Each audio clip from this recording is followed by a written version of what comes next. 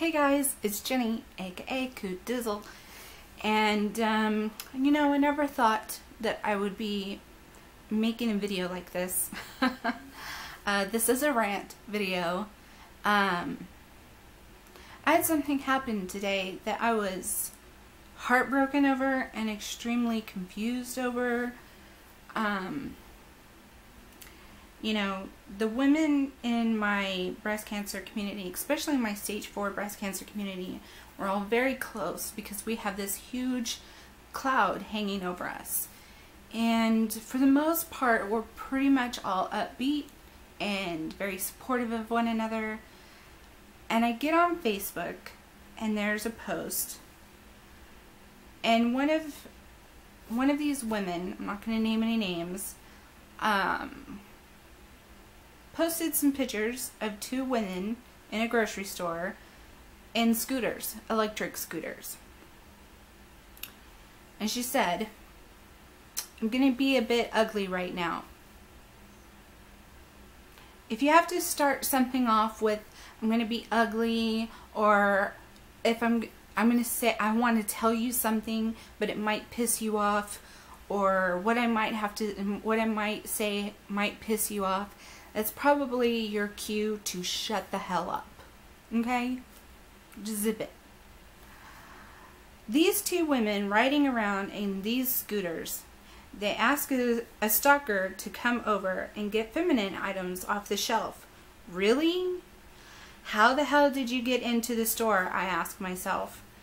I have breast cancer and never did I use these things. I am walking around on my own two feet just pure laziness, the two of them together. Excuse me? Excuse me? Ma'am? Let me tell you about my experience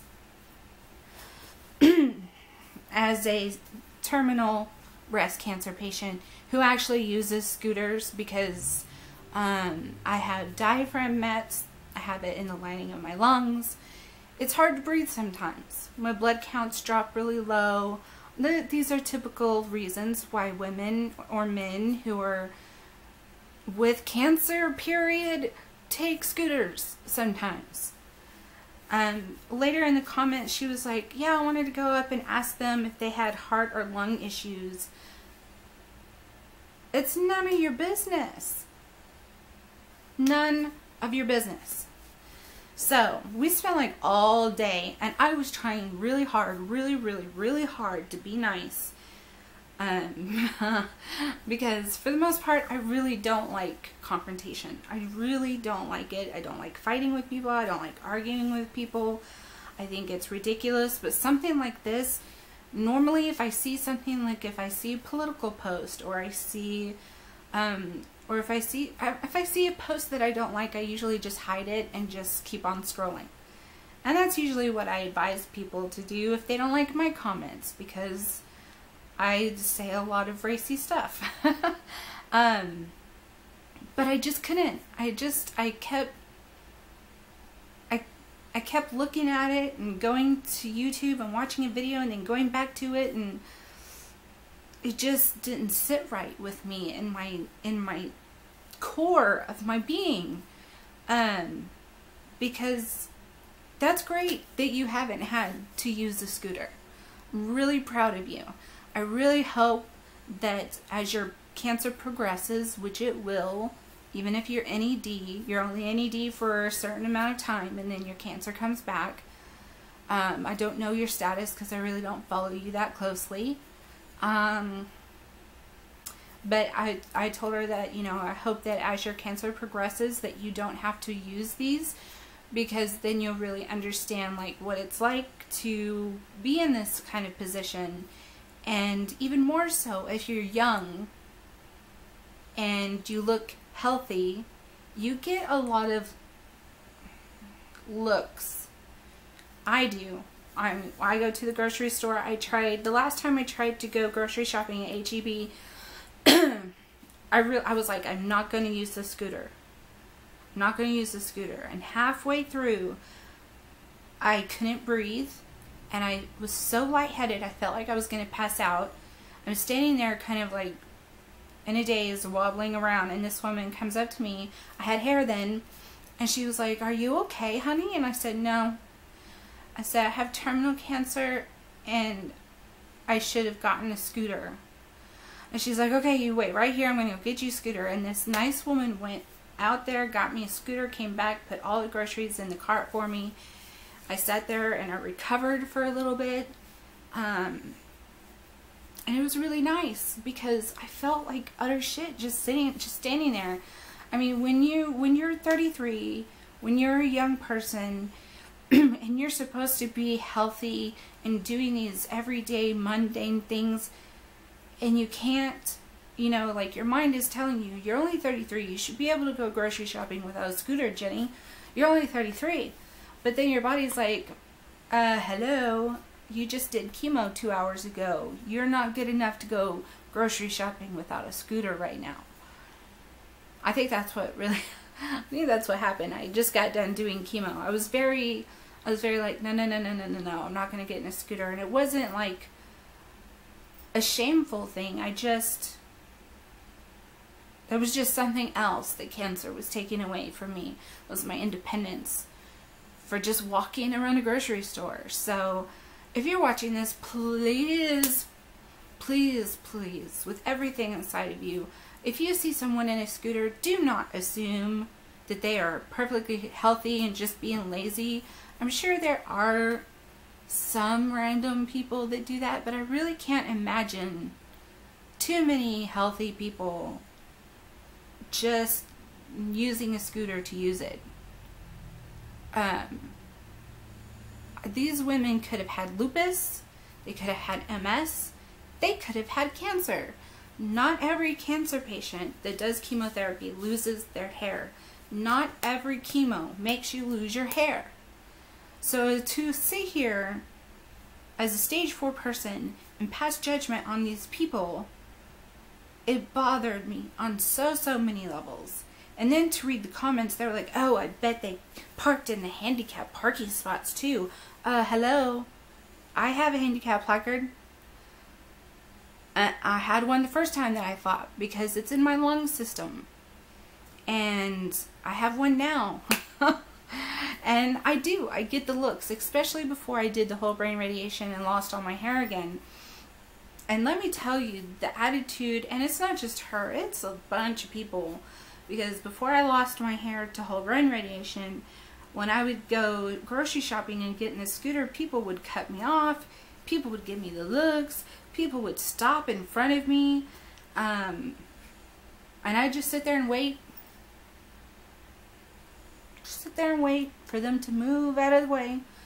Now that I'm bald again, and I'm keeping my hair buzzed, I'm keeping my head shaved, not for this reason, although maybe half of this reason, let's be honest. Um, but then the other half is for Drax Shadow, um, for little Elijah, who's um, fighting so, so hard right now. Um, please send out some warm energy. Um, his mom vlogs everything. It's mom, mom's vlog 80 or mom vlog. I think it's mom's vlog 80. Um, but he's amazing. Or type in Drax Shadow, D-R-A-X. Anyway, so now, when I'm in the grocery store, the last few times I've been, um, if there's a like a big family that just stops in front of me, I just reach out and take my hat off. And they move. People now, now that I'm bald, they, they put the two and two together and they move out of my way. Or they don't cut me off, they don't stop in front of me. Um, it's like in order to earn the respect of the scooter or earn the right to, I don't know, I'm doing the air quotes, but to earn the right to be in a scooter, you have to look like this. Or you have to look like you're dying, you know? I had a friend who used a scooter once because she had a miscarriage. And for like a week, she used a scooter.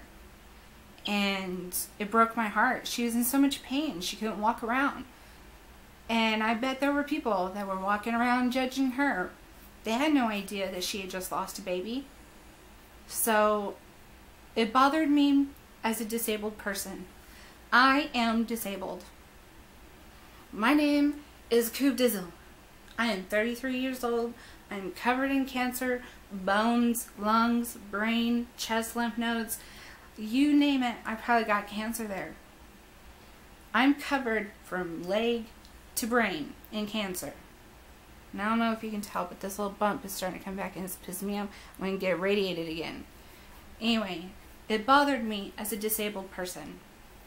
It bothered me as a cancer patient, as a stage 4 woman who has been in these situations, who has read in the who has read in the support groups of so many women getting berated by other people who are like, "Why are you parking in that handicap zone, bitch? Please, don't act like you are the police of the parking lot. If I have a disability placard, it's because a doctor gave it to me. So sit down and shut up. Don't ever question people. Just don't, because they could be war veterans. They, they could, a number of things could be wrong, and you just have no fucking clue. And, and it hurt me as a friend. As a friend, because I thought she was a friend. And for her to sit there, and I was, like I said, I was really polite, and I was like, you know, I was like, this really hurts me. I know that this post isn't about me, but this is this hurts me because there's a fellow disabled person who looks just fine, yeah, sure.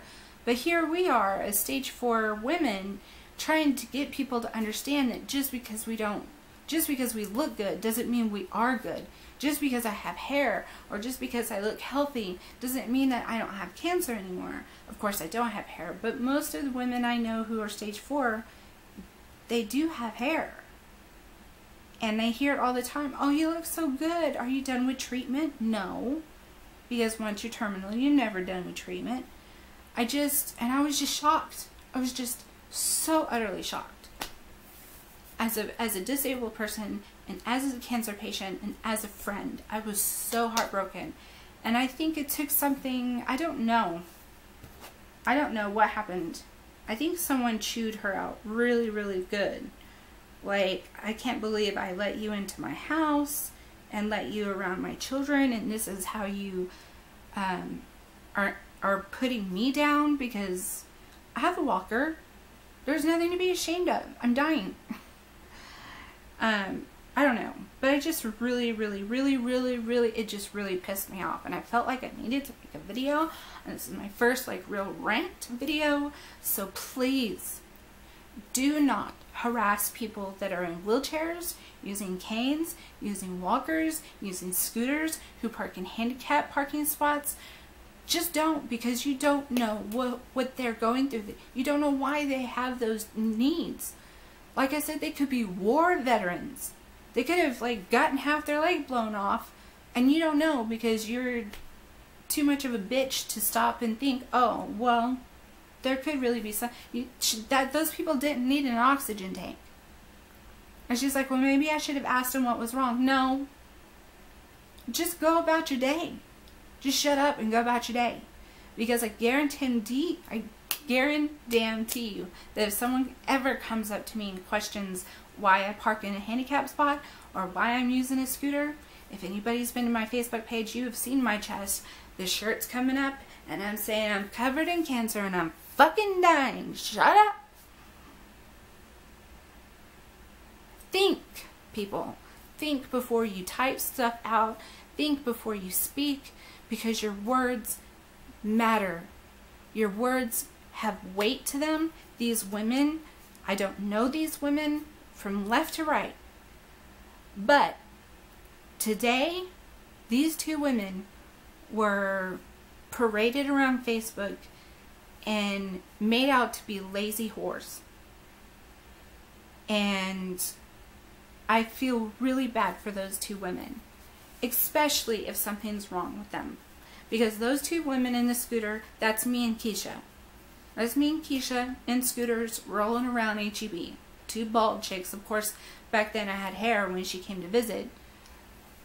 But it's like, your words they have weight to them. And you don't know who you're affecting by what you say. And if you can't say anything nice, don't say anything at all. I'm saying stuff on here because this is my channel, this is my release, and this is also a lesson to my children. Be better than that. Have more self-respect than that. Have more respect for your fellow humans. If people would stop and think like that, if you see something wrong, if you see someone raping someone outside of a dumpster, yeah, intervene. But if you see some young person riding around in a scooter at HEB or Walmart, just don't say anything. Just go about your day. It takes two seconds to be nice to people, and it takes one word to wreck their whole life. Or one sentence. It just blew my mind today, and it broke my heart. Um, so yeah, I didn't went on all day. I was like, just remove your post, man. Just take it down. You're pissing a lot of people off. Just put your stupid pride aside. And it, and someone was like, this is her page, and if she wanted your opinion, I was like, uh-uh. She put it out in public. The minute you put it out in public, you lose the right to tell people to shut up. I moderate my comments, but not because I want to shut you up. It's because of I rewatch videos of my friends who've died from cancer, and I cannot go in the comment section because people just say the rudest things, and I cannot stand it, and I don't want that happening with my children.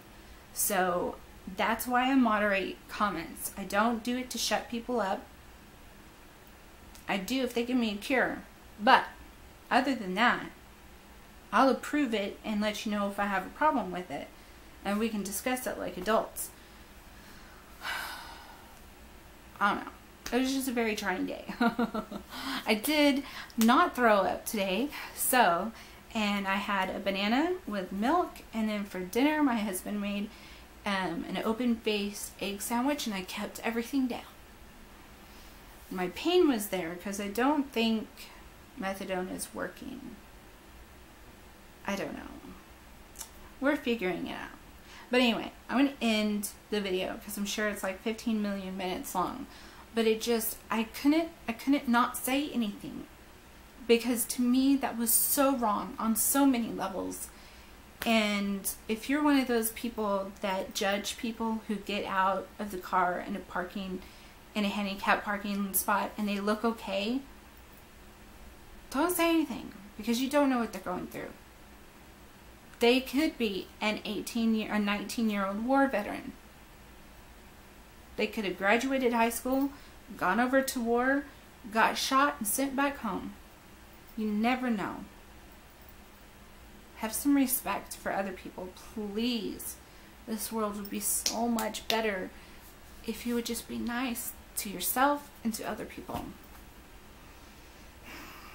Anyway, check your boobs, check your balls, and when life gets really overwhelming and you see an injustice in the world, feel free to speak about it. And if the person gets mad at you, you don't really need them as a friend anyway.